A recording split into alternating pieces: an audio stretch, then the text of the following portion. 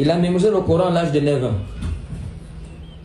Il était déjà hafiz, il était déjà Et quand son père a vu qu'à 11 ans, il dirigeait déjà la prière, à 12 ans, il s'est marié. Pour que ceux-là qui pensent que le mariage est un obstacle pour la science, qui rentre dans la bibliothèque de ce grand savant. À 12 ans, il était déjà marié, il était responsable. À 12 ans d'âge, il a commencé donc à apprendre chez les ulama de la Mecque et partout dans le monde. Et il a commencé à propager et ça a eu un impact mondial. Donc, les ulama de la sunna, ils parlent toujours avec des nusus. Par, par, contre, vous allez voir certains ulama de la bid'a, ils n'ont jamais de nusus. Bal, Ils découragent les gens d'étudier. Comme les tablirs et les secteurs. Ils découragent les gens d'étudier.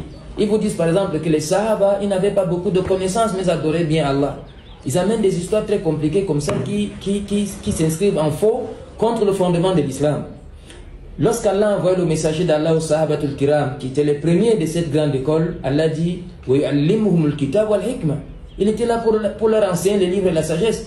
Comment après ça quelqu'un va dire que les Sahaba n'avaient pas de connaissances Alors qu'ils étudiaient chez le messager d'Allah. Et alors qu'Allah même a appelé les Sahaba Utul Ilm.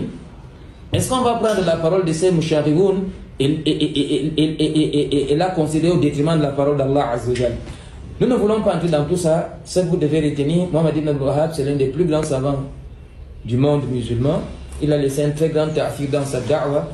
Le paganisme qui régnait ici chez nous en Afrique, à l'époque on appelait le Soudan, on appelait le Soudan, on n'appelait pas ici chez nous l'Afrique. L'Afrique était plutôt le Maghreb, c'est-à-dire la Tunisie, plutôt qu'on appelait à l'époque l'Afrique. La ici on appelait le Soudan. Voyez-vous, le paganisme qui était chez nous ici au Soudan, en Afrique noire, là, c'est sa da'wa qui a, éradiqué ça. Le dôme qui surplombait la tombe d'Ali ibn Talib a été détruit à cause de sa da'wa. Toute l'Indonésie que vous voyez aujourd'hui, qui est l'endroit dans le, monde musulman, il y a le plus grand nombre de musulmans, sa da'wa a un impact là-bas. Et tous les ulama rabbanines qui sont contemporains ont eu un impact, n'est-ce pas, c'est-à-dire ont été très influencés par sa da'wah. Comme lui-même, il était influencé par Charles Sam ibn et son élève ibn Tayyib. Et ceux qui sont venus après lui ont, puisé chez lui comme il a puisé ailleurs. C'est pourquoi les savants disent adam la Ça Dieu ne peut rien amener du vide. Chacun prend quand même de quelque part.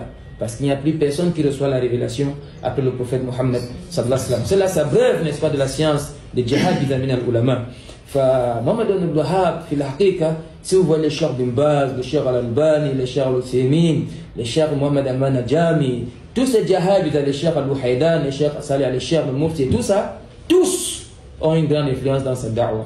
Maintenant, les icônes qui se sont aussi démarquées dans le monde entier, que ce soit en, en Inde, en Égypte, par exemple, vous voyez Ahmad Shakir, qui était, n'est-ce pas, c'est-à-dire l'imam du hadith en Égypte, Ahmad Shakir, il a été très influencé par cette da'wah. Donc, vous voyez que tous les grands savants contemporains, n'est-ce pas, c'est-à-dire, ont été très influencés par cette da'wah, parce que dans le domaine du tawhid, il a battu un travail très particulier. Euh, la preuve, c'est que tous les, les moutons de Aqidah que nous avons emportés de main, la plupart qui, sont répandus chez nous sont ces ouvrages. Vous pensez à Salafatul Usul, Qawad al-Arba, Kitab al-Tawhid, que nous voulons étudier, Kashf al-Shubhat, Usul al-Sitta, Nifad al-Islam, Masail al-Jahiliya, tous sont les livres de ces très grands savants. À vrai dire, son domaine était beaucoup plus dans l'Aqidah, mais comme Allah l'a béni, et ça c'est la rahma du Coran, il l'a aussi écrit ailleurs. Il est écrit, n'est-ce pas, dans la Salah. Vous avez, n'est-ce pas, ça dit, euh, Shurut Salah, Kanu Salah, c'est lui. Mais il a tout un livre sur la Salah. Discipline vers le chemin de la Salah. Tout un livre, il a écrit dans la Sira du prophète sallallahu alayhi Il a tellement de fatawa euh, dans le monde.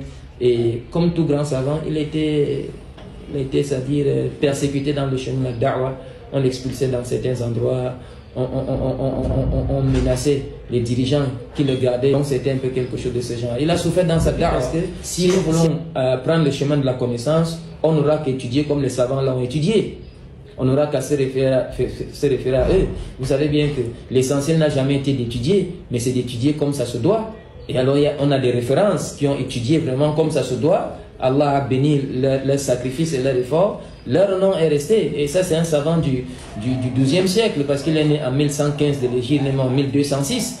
Et il fait partie, d'après, n'est-ce pas, ça dit les muakikoun parmi les ulama, il est, n'est-ce pas, ça dit la résultante, la résultante de ce hadith du messager d'Allah où le prophète dit Inna Allah ala ra'as kulli mi'atin sana ala hadhihi umma man yujadidu laha dinaha man yujadidu laha dinaha. C'est-à-dire Allah va envoyer la tête de chaque siècle à cette umma quelqu'un n'est-ce pas barakallahu fikum n'est-ce pas dit qui va euh, rénover la religion.